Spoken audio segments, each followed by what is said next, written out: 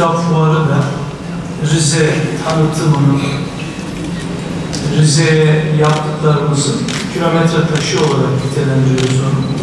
Niye böyle söylüyorum? Çünkü e, geçmişte de çok defaatle birkaç kez yapılmıştı ama inşallah bu sürekli hale getirecek bir kitap fuarının başlangıcı olur.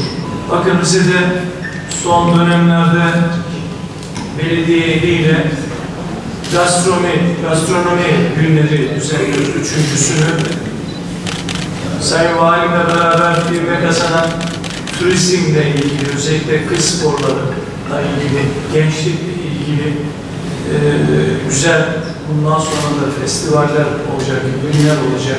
İşte hemen bir tanesi önümüzdeki 28-29 1 Mart'taki biliyorsunuz Cimik'te Dağ Kayağı şampiyonası olacak. Bunların hepsi Çağrankaya yürüyüş etkinliği olsun. Gençlik festivali olsun. Kaldı ki pandemi ve deprem meselesiyle ertelenen festivaller olsun.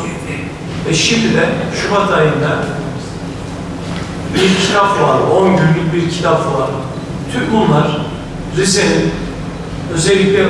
aydan Nisan'a kadar yani Ekim, Kasım, Aralık, Ocak, Şubat bu ayları biz Rize olarak dolu dolu geçirmek istiyoruz ki diğer aylarda Rize çok dolu oluyor zaten.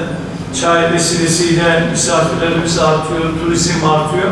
Ama bu bahsettiğim aylarda daha çok nüfusta ve hareketlilikte, ticari hareketlilikte bir azalma oluyor. Aslında bunu da bertaraf etmek içindir. Az önce Sayın Valim söyledi, Baba'dan Trabzon'a kadar. Özellikle yakın coğrafyada, şöyle bir saat, bir buçuk saatte e, arabayla bu bölgeye ulaşabilecek Hinterland'ımız nereyi ihtiva ediyorsa oradakilere de duyurma koşuluyla 10 günlük Karadeniz'de belki de yapılan en büyük kitap fuarlarından biri oluyor ve inşallah olacak içeriklerinden bahsedeceğim.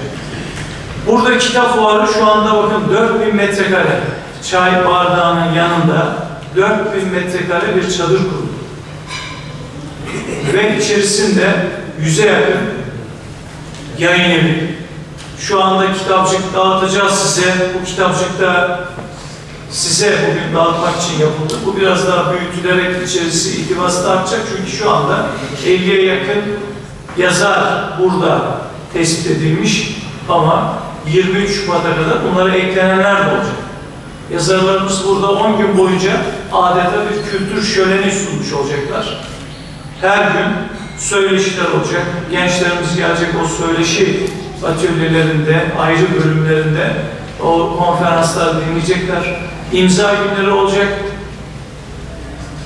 Ve bu 4000 metrekarede inanıyoruz ki önümüzdeki yıllarda az önce Sayın Valim bizim kitap fuarlarına katılarak aldığım bir kitapla hayat hikayem değişmiş olabilir diyebilecek birçok insan var.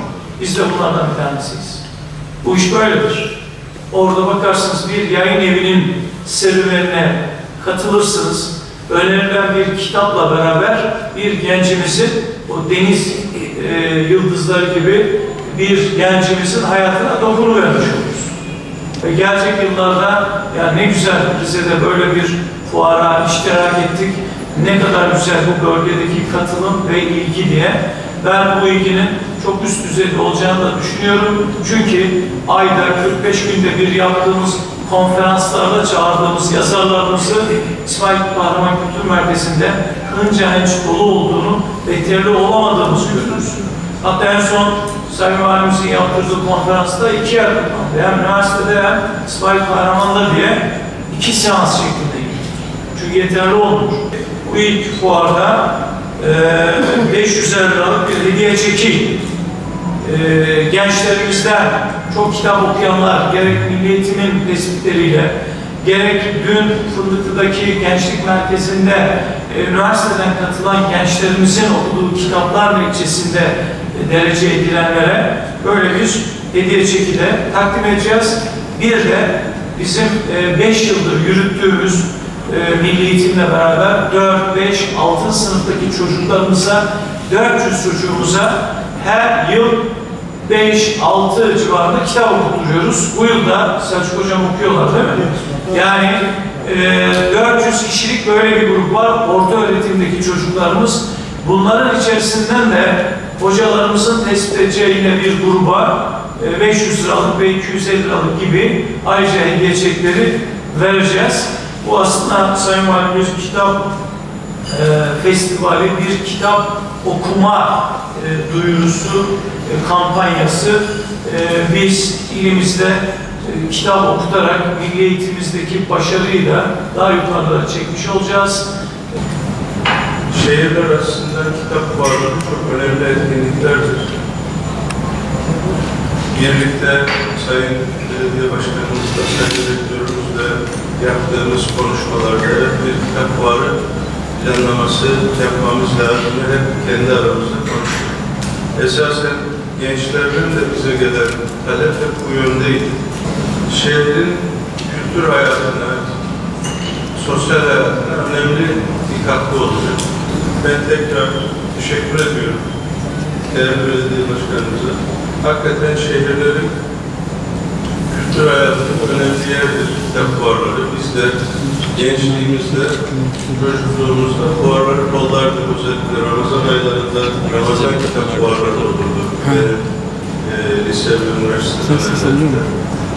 E, tekrar e, aracılıkla, basın mensuplarımız aracılığıyla yapılan duyurunun tüm gençlerimize, tüm kitap severlere ulaşmasını temenni ediyorum.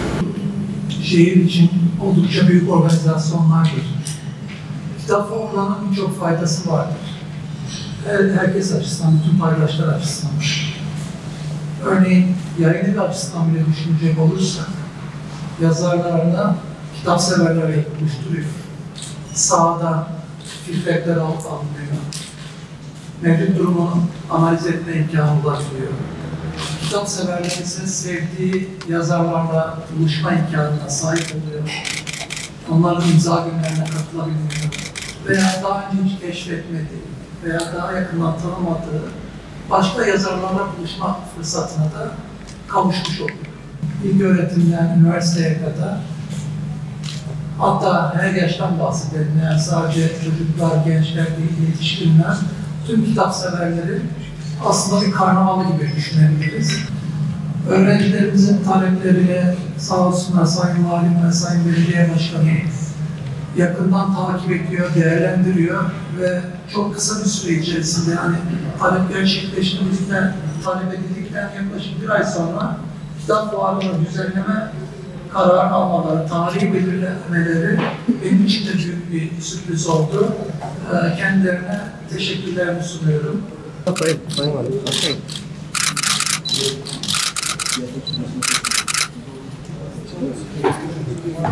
Sayın. Ben beşte geçim.